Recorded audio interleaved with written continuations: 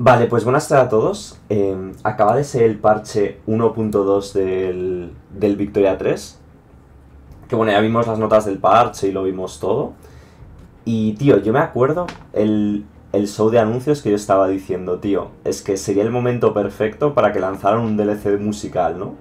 Y no anunciaron en el directo de anuncios ningún DLC musical, pero lo han sacado ahora, tío. Lo han sacado ahora. Se llama Melodies for the Masses o Melodías para las Masas. La última vez que jugué noté una mejora de rendimiento. Ahora vamos a jugar al Victoria 3, vamos a probarlo ahora. Pero, wow, me quedo un poco loco porque no sé, no sé por qué no aprovecharon para anunciar esto el otro día. Creo que tenía como más sentido, ¿no? Y ese es como el vídeo que hay promocional, ¿no? Un nuevo pack musical. Tiene arte nuevo y todo.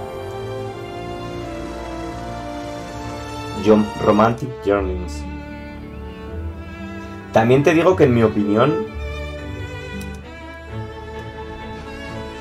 Or Working on the Lamp. En mi opinión le viene bien un DLC musical. ¿Van a cambiar el combate? Pues seguramente. Un DLC de música por 5 euros. Una música que seguro que está gratis en Spotify. Bueno, pero tardarán en lanzarlo, ¿no? En Spotify. Esto han sacado un montón de música en Spotify. ¿Qué tal si el musicote? Pues suena bien. Lo que no sé, a ver. Vamos a la página de Steam. O sea, aquí se ve como varias canciones, ¿no? Hay unas cuantas, ¿eh? O sea, esto puede valer la pena. O sea, hay unas cuantas. ¿Cuántas son en total, tío? La era de, la industrialización es la era de la transformación, cuando millones de trabajadores del campo se pusieron a trabajar en las fábricas, un tiempo en el que el centro del potencial de las naciones pasó del cambio a las ciudades. Victoria 3 cuenta con un nuevo paquete de música inspirado en los anhelos románticos de aquellos días más sencillos.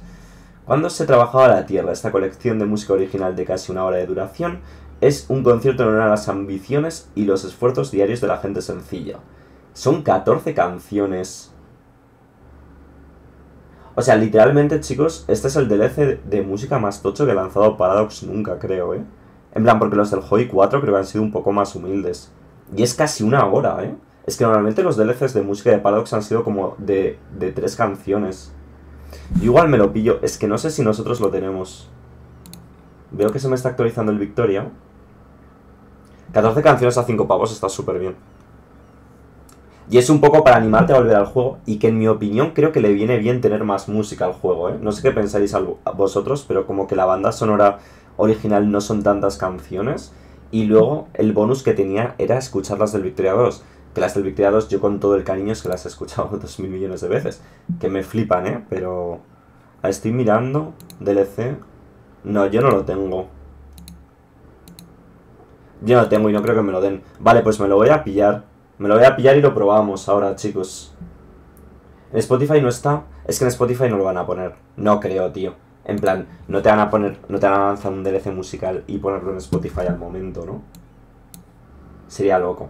Supongo que habrá gente que se indigne mucho por esto, porque diga, tío, eh, aún no han arreglado el juego del todo y ya están lanzando DLCs.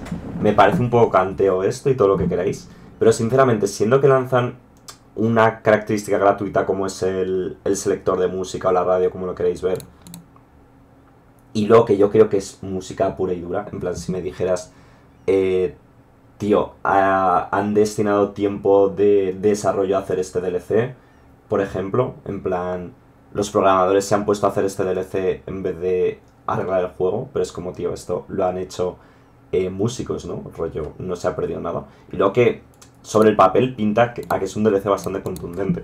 O sea, lo que digo, vamos a repasar los del Hearts of Iron, que yo creo que es el, juego que más DLCs musicales este, en este aspecto ha tenido. Em, por mirar alguno.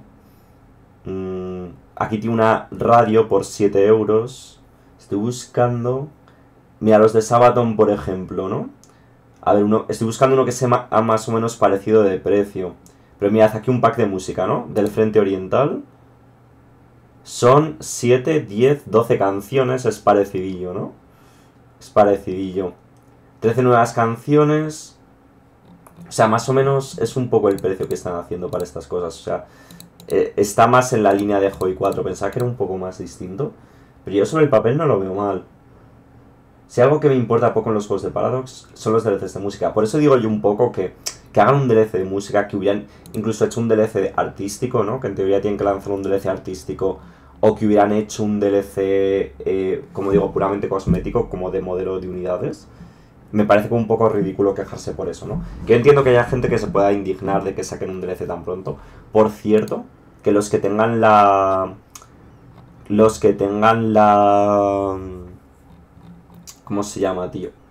Lo del Victoria 3 de la Gran Edition esa, la edición coleccionista, por así decirlo, esto les debe venir incluido. O sea, no lo pone en ningún lado, pero estoy bastante seguro de que esto los- lo tendrán incluido ahí, ¿no?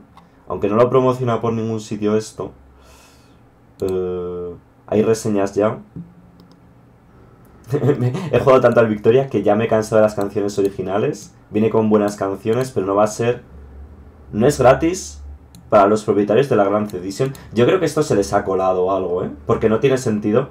Sí, yo lo tengo.